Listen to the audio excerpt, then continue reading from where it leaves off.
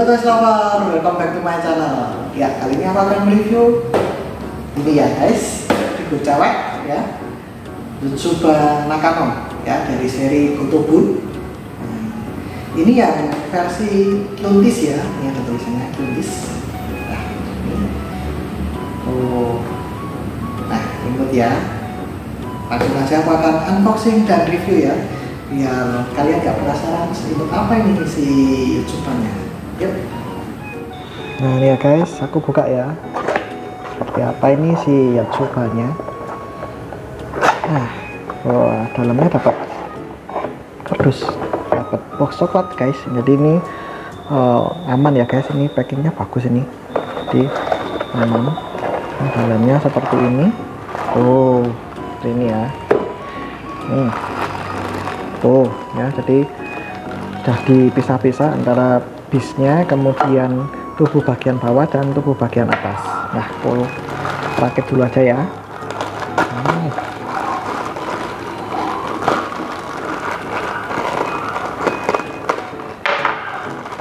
Jadi bisnya seperti ini. Cuma hitam aja ini hitam polos ya. Tuh. Nah kemudian tubuh bagian bawahnya. Aku pasang sekalian aja ya. Ini tinggal disesuaikan aja guys ini lubangnya. Hmm.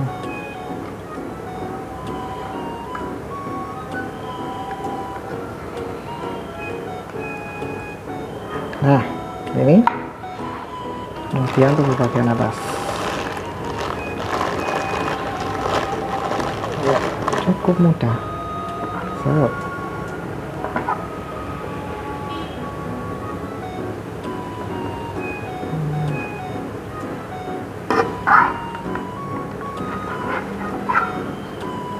nah ini kita singkirkan dulu.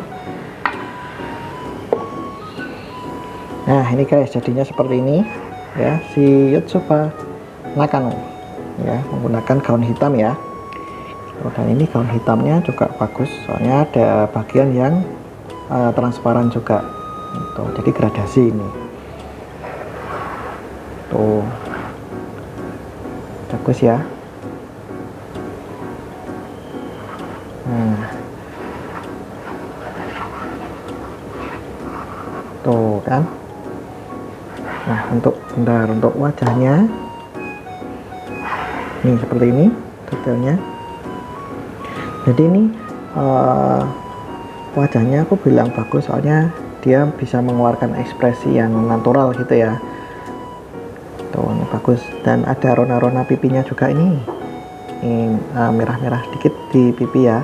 Kemudian untuk yang uh, mulutnya juga bagus separasinya. Jadi antara rongga mulut dan lidah itu ada separasinya gitu. Jadi bagus walaupun mata mata masih menggunakan stiker tapi bagus lah ini.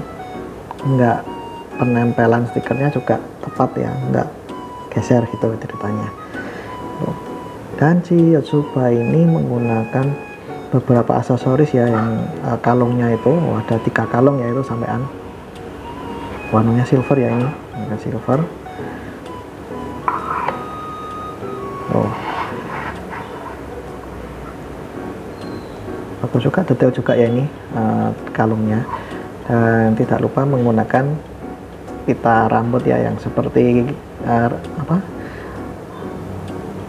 Telinga kelinci. Ya ini khasnya si Tsutsuba Nakano. Tuh. Kemudian dia pakai aksesoris gelang juga nih guys. Ini detail juga ya ini. Oh, kan? Ornamennya kelihatan jelas. Teksturnya bagus ya. Tuh. Bagus oke. okay. Nah, sekarang untuk gaunnya sendiri ini ada ceritanya dia menggunakan uh, dua rangkap ya. Yang pertama rangkap yang yang bagian dalam itu hitam ya, walaupun itu teksturnya bagus uh, kelihatan bunga mawarnya ya itu ya, tapi hitam polos. Kemudian dilapisi dengan uh, ini apa kain yang ceritanya transparan seperti ini tuh, dan jadi kelihatan glamour gitu ya kelihatan mewah gitu ya. Tuh jadi ornamennya yang di bajunya ini. Itu uh, bunga mawar semua ini guys. Maupun warnanya hitam ya.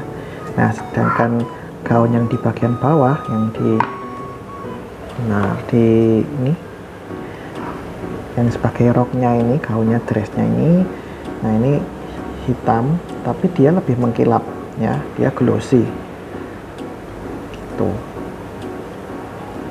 kan beda ya ini glossy sedangkan yang ini uh, bajunya yang ini yang ada mawar-mawarnya kan dia doff nggak memantulkan cahaya. Kalau yang di bawahnya memantulkan cahaya ya. Tuh lihat. Dan kemudian yang paling menarik ini bagian bawah sendiri. Ya jadi pakai bagian ujung-ujungnya yang dari uh, apa si gaun si rok ini dia transparan. Nih ya. Tuh tuh kan kelihatan jariku ya. Tuh. Jadi semakin ke bawah dia semakin transparan. Ini bagus ini. Ya kelihatan mewah gitu ya. Nah itu. Dan kemudian terakhir dia menggunakan sepatu high heel ya warna hitam ya cuma polos aja. Nggak ada ornamen apa apa cuma ya bagian ujungnya ini aja ya yang seperti kotak gitu ya. Aja polos.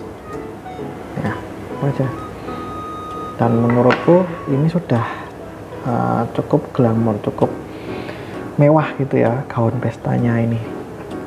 Bagus lah untuk uh, si Yotsuba ini. Gitu. Ya. Untuk uh, untuk displaynya biasanya aku seperti ini sih guys. Ya.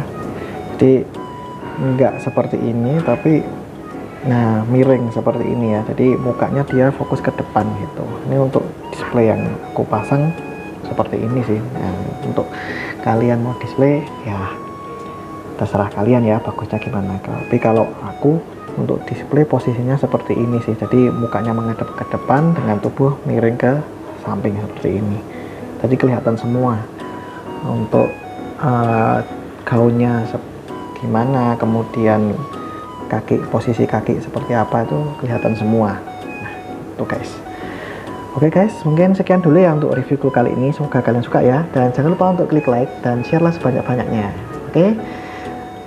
Ya, sampai jumpa lagi di video reviewku berikutnya ya guys. Dah.